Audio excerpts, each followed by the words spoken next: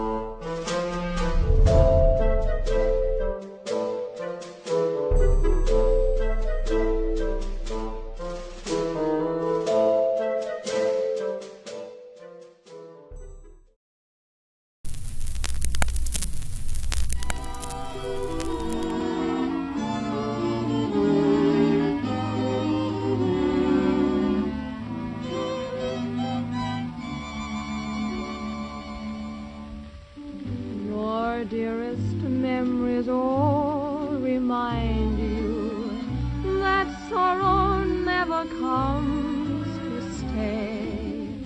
And when the shadows fall behind you, they'll come.